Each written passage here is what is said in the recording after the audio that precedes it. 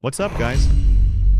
Charles here. AMD's FSR Redstone update was finally launched earlier this week. Roll out the rendered red carpet. And it arrived boasting four separate pieces of tech. Well, I say these four features have arrived, but they haven't. Or one of them hasn't, rather, and it seems a long way off. Plus, one of them is actually here already, and isn't new at all. Confused? Well, it all feels a bit murky, messy, or even chaotic, which is surprising given how long PC gamers have been keenly awaiting Redstone as AMD's effort to catch up with NVIDIA DLSS 4, which has been out for almost a year now. You'd have thought Team Red would have had time to craft and hone its launch material and marketing message for Redstone, but that doesn't seem to be the case. If you thought AMD already had frame generation in FSR, and so you're confused about what FSR frame generation is, or if you thought FSR 4 was upscaling and you're scratching your head about what FSR upscaling is, is it FSR 4, FSR 4.1, or a new version entirely? Then I totally get where you're coming from. AMD has not done a very good job of making some of this clear, so I'm going to step in and offer my take. I'm going to go through these four features one by one and define what they really are and whether they've actually arrived or are still waiting in the wings. And hey there, if you're new to InfoFusion 2.0, welcome to the crew. If you love staying updated on the latest gaming and tech product leaks, subscribe to join our community. Don't forget to like, comment your thoughts, and share with friends who'd enjoy this content. Upscaling, for the uninitiated, takes a lower resolution frame and scales it to a higher resolution, delivering near-native quality while running faster and more smoothly. As AMD officially bills this, FSR upscaling was formerly AMD Fidelity FX Super Resolution 4, otherwise known as FSR4. It was formerly FSR4, but it's now called FSR upscaling, dropping the numbering scheme. This is confusing because we're all used to the numbers at this point, and AMD doesn't make it explicit that there's no difference between FSR4 and the new take. However, buried slightly lower in the blurb, AMD says FSR4 has been renamed FSR Upscaling to better distinguish between the various features that now make up FSR Redstone.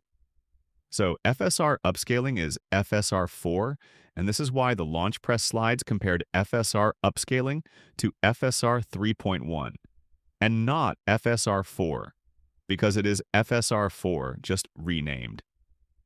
That doesn't mean FSR upscaling isn't a slightly tweaked version of FSR4, but if there is any under-the-hood tinkering, it's not worth mentioning. As you can be sure that if there were a selling point in that respect, AMD would have said something. To sum up then, FSR upscaling isn't a new technology. It's just AMD's existing FSR4 given a different naming convention for Redstone. And of course, it's up and running now with all the games that FSR4 was compatible with. So, nothing much to see here. Let's move along. As I mentioned at the outset, this one could have you confused because FSR4 already had frame generation, and indeed FSR3 did long before it. What's different here is that Redstone's take on frame generation is a sizable step forward, as it employs AI, machine learning, to produce higher frame rates by inserting AI-generated frames between real frames. AMD's previous takes on FrameGen did not use AI, so this is a major difference, and it has a big impact on the image quality of frame generation, at least based on early testing, Redstone's FSR frame generation looks to be a winner then, and catches up with DLSS4, albeit what it doesn't offer is multi-frame generation, which NVIDIA's GeForce graphics cards benefit from. The RTX 5000 models, anyway. The catch with Redstone and the switch to AI for frame generation is that it requires hardware acceleration that makes it exclusive to RDNA4 graphics cards, this is also true for FSR4, which was already machine learning based, and for the other two pieces of tech we'll look at next.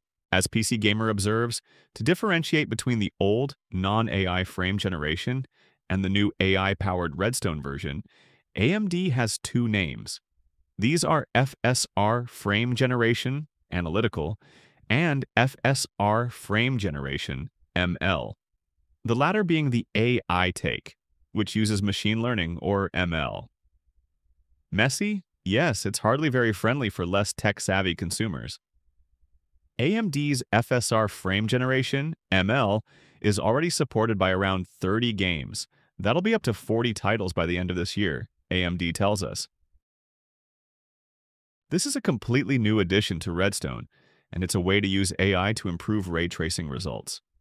It aims to remove noise and glitches and implement those fancy rays at a lower rendering cost, so it's more performant overall with RDNA 4 GPUs.